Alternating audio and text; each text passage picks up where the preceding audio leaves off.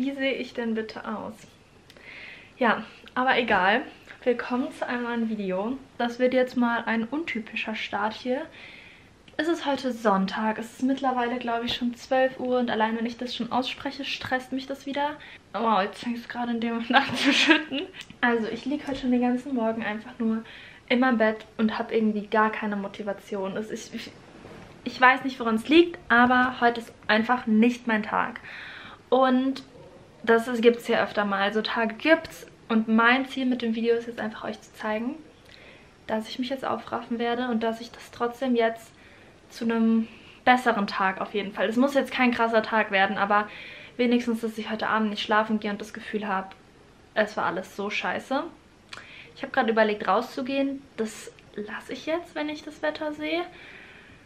Und ich kann euch auch genau sagen, warum es mir aktuell so geht. Also es sind viele Punkte, die da, glaube ich, gerade zusammenkommen.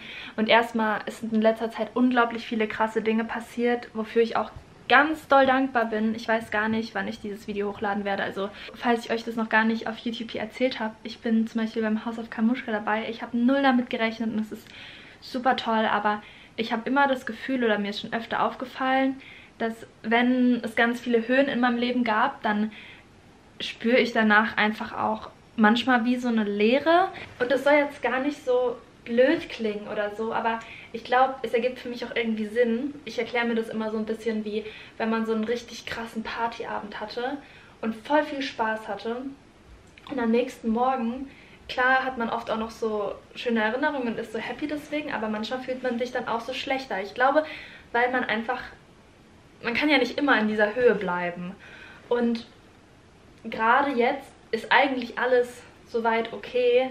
Jetzt war ich eigentlich, glaube ich, eine Woche hier alleine. Meine Eltern waren im Urlaub, die sind jetzt wiedergekommen. Und ich habe mich die ganze Zeit eigentlich darauf gefreut, dass sie wiederkommen. Und jetzt, ja, ich weiß auch nicht, jetzt stresst mich weil ich sehe plötzlich, dass Leute irgendwie Dinge tun und erledigen. Und ich sitze hier. Und ich habe zwar die letzten Tage auch viel geschafft, aber ja, heute fühlt sich einfach nicht gut an. Ich rede jetzt schon wieder viel zu lange, aber ich wollte euch aber irgendwie versuchen zu erklären, was gerade so in meinem Kopf abgeht das löst wirklich so einen Druck in mir aus, dass ich gerade nichts richtig Gutes für mich tue. Es geht mir nicht mehr darum, dass ich krasse Sachen erledige, vielleicht auch ein bisschen, das wäre schon schön, aber dass ich einfach die Zeit auch nicht gut für mich nutze. Ich habe heute Morgen bisher schon wieder nur Sandwich Toast gegessen, was die letzte Woche gefühlt auch schon so ging. Das weiß ich halt dann auch, dass es mir nicht gut tut. Dann sitze ich hier, schaue gerade GNTM, es macht mich jetzt auch nicht unbedingt glücklich ja, okay. Jetzt hören wir auf mit dem Gerede und ich werde euch jetzt Step für Step mitnehmen, um meinen Tag heute besser zu machen.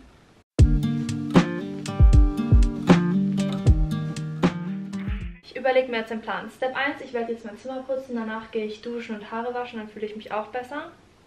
Und dann heißt es Sachen bestellen und Sachen anprobieren, die schon angekommen sind, weil es geht bald ins Stock und ich habe gestern die Packliste bekommen. Ja, und ich habe ein paar Probleme, weil ich diese Sachen nicht besetze, besitze und auch nicht ansatzweise Sachen besitze, die so aussehen und die dazu passen. Das ist gerade so ein bisschen mein Problem. Aber das ist kein Problem, weil wir kriegen das hin und jetzt erstmal Zimmer aufräumen.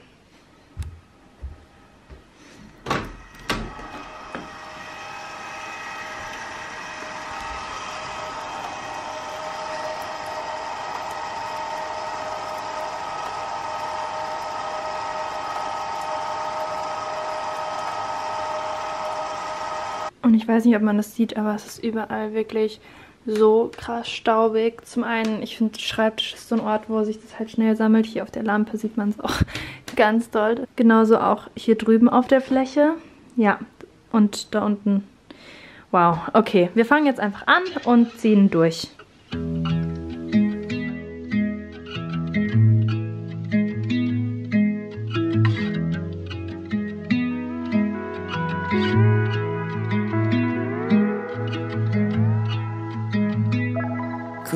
Billionaires died inside a.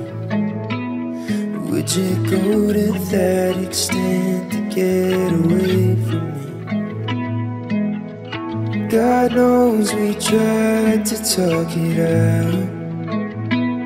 And if the rapture came right now, I'd be okay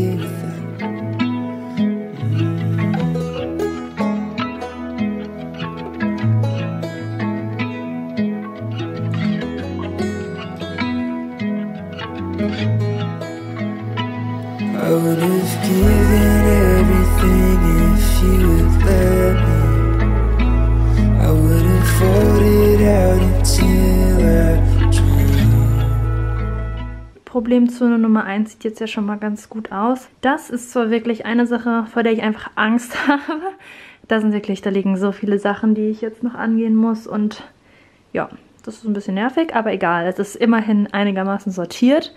Jetzt widme ich mich dieser Ecke hier. Ich habe auch heute Morgen die Idee gehabt, dass ich eigentlich das gerne umtauschen würde. Ich weiß gar nicht, ob das schon immer so stand, aber ich will es mal ausprobieren, dass die Lampe halt in die Ecke kommt und der Spiegel nach rechts. Weil ich glaube, das wird mir besser gefallen. Also, let's try it. Discovering the point where it went south was a therapist who opened up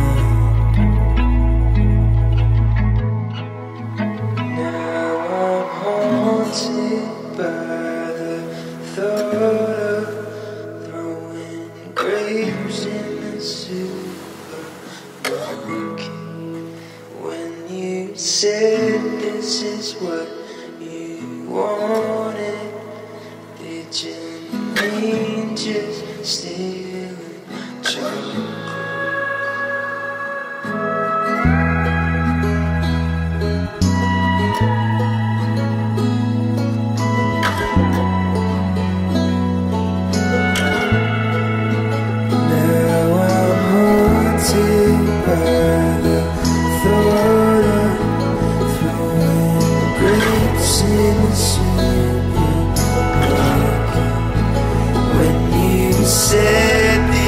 what you wanted,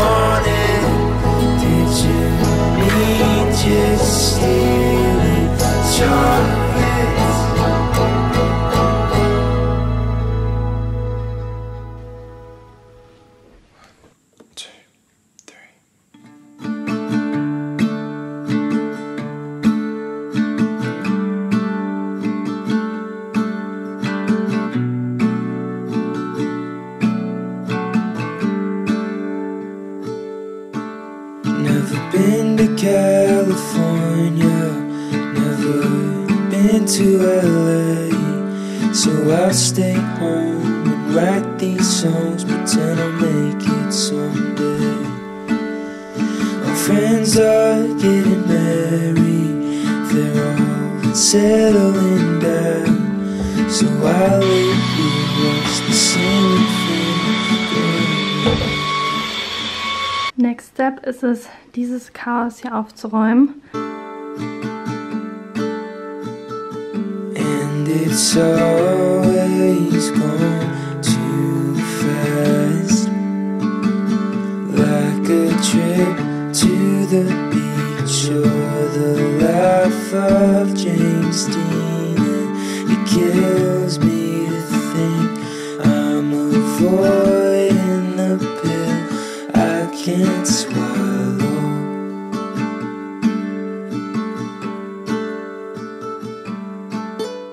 Problemzone Nummer 2 ist jetzt auch erledigt. Und ich finde wirklich, es macht einfach so viel aus, wenn diese Oberflächen halt nicht voll mit Staub sind.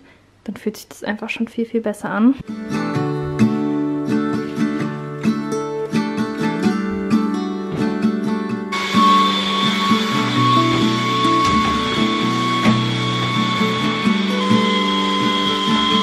Haven't seen my twin brother wenn das jetzt eigentlich keine große Sache ist, dass jetzt mein Zimmer ordentlich ist, freue ich mich, dass ich das geschafft habe. Erstes To-Do ist erledigt. Ich dachte, heute kriege ich wirklich gar nichts hin. Aber ja, das war schon mal gut. Und ich muss sagen, ich fühle mich jetzt richtig wohl. Jede Ecke ist ordentlich, es ist sauber. Schön. Und es regnet immer noch. Aber ja, ich ziehe mir jetzt schnell mal was anderes an. Ich dachte mir, dass ich jetzt eigentlich direkt duschen gehe, aber wir gehen jetzt nochmal eine Runde ähm, Romy besuchen, den Hund, auf den ich öfter aufpasse. Und wenn es eine Sache gibt, die mich glücklich macht, ist es dieser Hund. Und deswegen ähm, ist es ehrlich gesagt sehr passend. Deswegen bringt es mir jetzt auch nicht, wenn ich jetzt meine Haare wasche, weil dann bin ich im Regen. Deswegen ziehe ich mir jetzt irgendwas Gutes an. Ja. Oh Mann, was ein Tag. Was krasseres werde ich jetzt heute auch einfach nicht anziehen. Es ist äh, eine schwarze Jeans, mein grauer Pulli, den ich sowieso mindestens jeden zweiten Tag anhabe. Aber ganz ehrlich, der passt halt zu allem. Ich liebe den und ich kriege oft Fragen dazu. Der ist einfach von Amazon, von der Marke Gildan. Ich glaube, ich habe den in allen Farben. Aber ich muss sagen, ein kleines Highlight gibt es heute. Ich habe einen Leo-Gürtel an. Okay, wow. Jetzt geht's erstmal spazieren. Missing his calls. It's funny just how easily a family can drift apart. I'm finally getting married to an angel. Also in dem Vlog zeige ich mich wirklich immer von meiner besten Seite. Nee, Spaß. Ähm, ich komme gerade aus der Dusche. Und ja, ich muss sagen, heute der Tag ist ein Auf und Ab. Ähm, zwischendurch ging es mir wieder echt gut. Und dann denke ich mir wieder so, boah, ich habe auf gar nichts Lust. Aber ich bin das gewöhnt, also von diesen Tagen, wenn ich dann morgens schon so mit so einem komischen Gefühl aufwache, zieht sich das meistens durch den ganzen Tag. Aber wenigstens habe ich jetzt schon ein paar Dinge gemacht, die mir gut tun und wir waren dann mit Romy spazieren, das war richtig schön. Jetzt habe ich mir meine Haare gewaschen, auch so eine Sache, die ich gerne mal nicht tue, wenn es mir schlecht geht. Und jetzt werde ich mich einfach mal kurz ins Bett legen, eine Runde chillen. Und dann muss ich auch schon anfangen, Sachen rauszusuchen, die ähm, der Packliste fürs Talk entsprechen. Und habe eine Box hier stehen mit Klamotten, die ich anprobieren muss. Also das ist der Plan für den Rest des Tages. Und es ist mittlerweile einfach auch schon 6 Uhr. Also keine Ahnung, wohin die Zeit geflogen ist. Jetzt wird erstmal eine Runde gechillt. Papa, das ist schrecklich. Kannst du auch als Nachtkleid noch anhaben dann. Also das finde ich sehr schön. Das findest du schön? Ja, das finde ich super schön. Vielleicht geht es aber auch an den Models. Sag mal. Sag mal. Aber du kannst nicht nach den Models auswählen. Das ist ja, Das ist doch wirklich Nein. Leute, wisst ihr, wie billig das aussieht? Dann finde ich ja schon eher sowas schön. Aber. Was? Was? Warst du da? Nee. Das? Kara. Ich glaube, du hast auch keinen Geschmack, finde Das ist das Problem. Ja, genau das hatte ich doch vorhin auch. Nein. Hallo, doch. Nein. Genau. Weil das sieht so Das sieht aus wie Goldfolie. Damit fällst du auch auf. Das sieht aus wie diese Notfallfolie aus. Sieht aus wie selbst. Ich wollte mich heute auch nochmal bei euch melden. Mir geht es jetzt eigentlich mittlerweile ganz gut. Auch wenn ich total so eine innere Unruhe habe. Das liegt aber daran, dass es jetzt schon bald, also dass bald einfach das Talk ist. Und äh, ich saß gerade eben mit meinen Eltern ungefähr zwei Stunden oder so da und wir haben Outfits rausgesucht. Also sie haben mich netterweise versucht dabei zu unterstützen, aber ich war die ganze Zeit so, nee, ihr braucht mir auch nicht weiterhelfen, weil ja, sie das nicht so ganz das finden konnten, was ich finden wollte, ähm, wobei es auch sehr schwer war. Aber gut, deswegen war das gerade alles noch ein bisschen Chaos und ich freue mich so darauf, aber ich freue mich auch einfach auf den Moment, wo ich die passenden Outfits habe, weil das ist so schwer. Also wir haben halt Moodboards zu den einzelnen Tagen und das, ja, überfordert mich, aber ist okay. Das ist eine Challenge. Und ja, ansonsten hoffe ich einfach, dass ich euch mit dem Video ja, zeigen konnte, erstmal, dass es ganz normal ist, diese schlechten Tage zu haben. Ähm, vielleicht habt ihr irgendwas mitnehmen können, was ihr nächstes Mal versucht. Also vielleicht mit dem Zimmer aufräumen oder einfach rausgehen ja, mal duschen, Haare waschen, fühlt man sich auch schon mal besser. Ich fühle mich auf jeden Fall schon mal besser als heute Morgen. Ich habe auch Dinge erledigt, auch wenn sich das trotzdem oft dann noch so anfühlt, als ob es nicht genug war. Fühlt es jetzt auch gerade. Ich habe auch das Gefühl, meine To-Do-Liste ist nicht wirklich kürzer geworden. Aber mein Gott, so ist es halt manchmal. Ich hoffe, euch geht's gut und falls nicht, dass es euch bald besser geht. Und dann freue ich mich, wenn wir uns im nächsten Video sehen. Und schreibt mir gerne einen Kommentar. Tschüss.